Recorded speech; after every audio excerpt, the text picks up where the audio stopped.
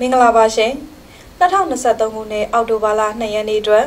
မိုးလေဝသနဲ့ဇလာဗေဒသတင်းများကိုနေပြီးတော့မိုးလေဝသနဲ့ဇလာဗေဒညွှန်ကြားမှုဦးစီးဌာနမှထုတ်ပြန်ကြေညာပါမယ်ရှင်လွန်ခဲ့တဲ့24နာရီအတွင်းကမြို့လာရွာသွန်းခဲ့တဲ့မှတ်သားဖွယ်ရာမိုးရေချိန်များမှာလက်ပုတ်တာမြို့မှာ6သက်မှတလေးလမ်းမှာရှင်းမြို့နယ်6စုံမြို့တို့မှာ3သက်မှ9ညလမ်းမစီ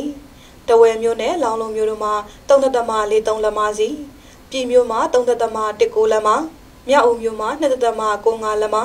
ဟိုင်းကြီးကျွန်းမြို့မှာ2သက်မှ83လမ်းမှာကွာမြို့မှာ2သက်မှ9လမ်းမှာရှမ်းကုန်းတကုံမြို့တင်မြောက်ပိုင်းမြို့နယ်မှာ2သက်မှ68လမ်းမှာနဲ့ပေါတော်မြို့မှာ2သက်မှ64လမ်းမှာတို့တိုင်းထွာရရှိခဲ့ပါတယ်။မိုးရေချိန်စံချိန်သည့်အနေနဲ့ကတော့ဒီကနေ့မနက်မြန်မာစံတော်ချိန်9နာရီခွဲချိန်တိုင်းထွာချက်များအရလက်ပွတ်တာမြို့မှာ156မီလီမီတာ 6သက်မှ14လမ်းမှာဖြစ်ပြီးရခင်စံချိန်ဟောင်းမှာ102မီလီမီတာ၄သက်မှ3ညနှစ်လက်မှာဖြစ်က2015ခုနှစ်အောက်တိုဘာလ6ရက်နေ့ကတိုင်းထွာရရှိခဲ့ပါတယ်။ဒီကနေ့နေ့လည်းတနအီခွဲချိန်မိုးလေဝသကြိုးတူမှာဖမ်းရရှိတဲ့ပုံရမင်္ဂလာပင်လယ်အနောက်တောင်ပိုင်းမှာတိမ်အထင်းတင်ဖြစ်ထွန်းနေပြီးကပ်လီပင်လယ်ပြင်နဲ့ကြံမင်္ဂလာပင်လယ်တို့မှာတိမ်အထင်းတင်မှာတိမ်ထူထပ်နေပါတယ်။မြန်မာနိုင်ငံပေါ်မှာကတော့ မြန်မာနိုင်ငံအနောက်ပိုင်းနဲ့အောက်ပိုင်းဒေသတွေမှာတိမ်အထင်းတင်မှာတိမ်ထူထပ်နေပြီးကြံဒေသတွေမှာတိမ်အထင်းတင်ဖြစ်ထွန်းနေရကိုတွေ့ရပါတယ်။အခုမြင်တွေ့နေရတဲ့တိမ်နိုင်ကြီးကတော့ဖိလစ်ပိုင်ပင်လယ်ပြင်မှာဖြစ်ပေါ်နေတဲ့တိုင်ဖုန်းမုန်တိုင်းကိုအီနူကြောင့်ပဲဖြစ်ပါတယ်။အဆိုပါတိုင်ဖုန်းမုန်တိုင်းကိုအီနူဟာအနောက်မြောက်ဘက်သို့ဆက်လက်ရွေ့လျားနိုင်တယ်လို့ခန့်မှန်းရပါတယ်။ဒီကနေ့မြေပြင်မိုးလေဝသအခြေအနေပြ လေပြားတူမြင်းများပုံစံအရမြို့ဝကျုံမောရခိုင်ကမ်းရတလျှောက်တို့မှာမုတ်တုံလေးအားတင်းတင်းမှအားကောင်းနေပါတယ်။အခုဆက်လက်ပြီးဘင်္ဂလားပင်လယ်အခြေအနေများကိုတင်ပြပါမယ်ရှင်။ဘင်္ဂလားပင်လယ်အခြေအနေမှာဘင်္ဂလားပင်လယ်အရှေ့မြောက်ပိုင်းမှာတိမ်တင်းတင်းမှတိမ်ထူထပ်နေပါတယ်။ကပ်ပလီပင်လယ်ပြင်နဲ့ဘင်္ဂလားပင်လယ်တောင်ပိုင်းတို့မှာမုတ်တုံလေးအားတင်းတင်းရှိနေပြီး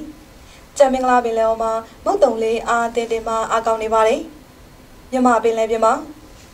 မြို့ဝကျွန်းမောရခိုင်ကမ်းဥရတရှောင်းနဲ့ကမ်းလွန်ပင်လယ်ပြင်တို့မှာတခါတည်းရန်မိုးသက်လေပြင်းများကြာရောက်ပြီးလိုင်းတင်းတင်းမှလိုင်းကျနိုင်ပါတယ်။မိုးသက်လေပြင်းကြာစဉ်ရေပြင်းမြေပြင်းလေးဟာတနအီကိုမိုင်30မှ35မိုင်ထိတိုက်ခတ်နိုင်ပါတယ်။ကြံမြမပင်လယ်ပြင်မှာလိုင်းတင်းတင်းရှိပါမယ်။လိုင်းမြမမြို့ဝကျွန်းမောရခိုင်ကမ်းဥရတရှောင်းနဲ့ကမ်းလွန်ပင်လယ်ပြင်တို့မှာ9ပေမှ9ပေကနေ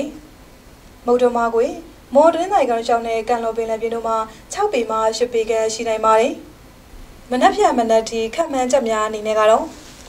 စကိုင်းတိုင်းဒေသကြီးအောက်ပိုင်းမကွေးတိုင်းဒေသကြီးနေပြည်တော်မန္တလေးတိုင်းဒေသကြီးရှမ်းပြည်နယ်မြောက်ပိုင်းအရှေ့ပိုင်းနဲ့ကယားပြည်နယ်တို့မှာနေရာကျကျရှမ်းပြည်နယ်တောင်ပိုင်းမှာနေရာစိတ်စိတ်နဲ့ကချင်ပြည်နယ်စကိုင်းတိုင်းဒေသကြီးထပ်ပိုင်းချင်းပြည်နယ်ရခိုင်ပြည်နယ်အေရဝတီတိုင်းဒေသကြီးရှမ်းကုန်တိုင်းဒေသကြီးပဲခူးတိုင်းဒေသကြီးကရင်ပြည်နယ်မွန်ပြည်နယ်နဲ့တနင်္သာရီတိုင်းဒေသကြီးတို့မှာနေရာအနှံ့ပြားမိုးထချုံရွာပြီး ရခိုင်ပြည်နယ်အေရဝတီတိုင်းဒေသကြီးမွန်ပြည်နယ်နဲ့တနင်္သာရီတိုင်းဒေသကြီးတို့မှာနေရာကွက်ပြီးမိုးကြီးနိုင်ပါတယ်အခုဆက်လက်ပြီးမနက်ဖြန်အတွက်တိုင်းဒေသကြီးနဲ့ပြည်နယ်များရဲ့မြို့ကြီးများလိုက်ဖြစ်ပေါ်နိုင်တဲ့မိုးလေဝသနဲ့ဇလာဗေဒခံမှန်းချက်များကိုတင်ပြပါမယ်ရှင်။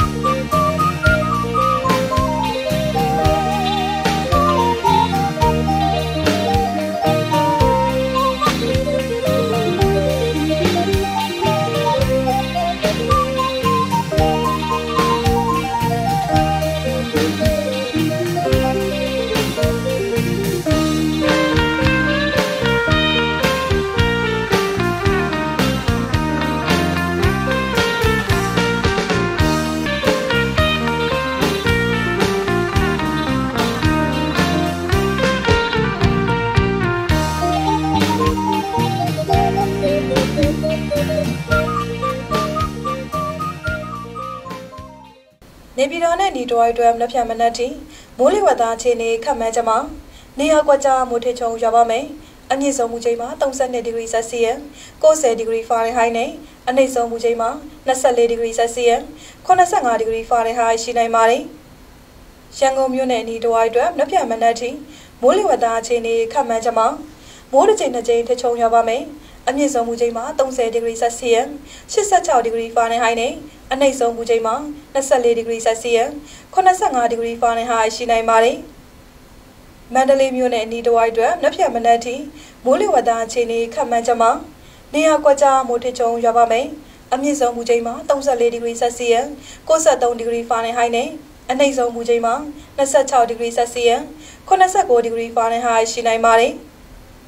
နောက်နေ့ရက်အတွက်ခန့်မှန်းချက်အနေနဲ့ကတော့ကပ်လီပင်လယ်ပြင်နဲ့မင်္ဂလာပင်လယ်တောင်ပိုင်းတို့မှာမုတ်တုံလေးအားအတင်တင်ရှိနိုင်ပါတယ်။ရေးကြီးခြင်းတတိပေးချက်ဒီကနေ့မနက်မြန်မာစံတော်ချိန်9နာရီခွဲချိန်တိုင်းထွာချက်အရပဲခူးမြေဟာပဲခူးမြို့မှာရင်းမြို့ရဲ့စိုးရိမ်မှအောင်တပေကျော်35စင်တီမီတာမှရောက်ရှိနေပါတယ်။အဆိုပါမြေဟာနောက်တရက်အတွင်းရင်းမြို့ရဲ့စိုးရိမ်မှသို့ရောက်ရှိနိုင်ပါတယ်။သို့ဖြစ်ပါ၍ပဲခူးမြို့နယ်အတွင်းရှိ မြစ်ကန်အနီးနဲ့မြေနိမ့်ပိုင်းနေထိုင်သူများအနေဖြင့်အထူးသတိပြုနေထိုင်ကြပါရန်အကြံပြုအပ်ပါတယ်။အခုတင်ပြခဲ့တာကတော့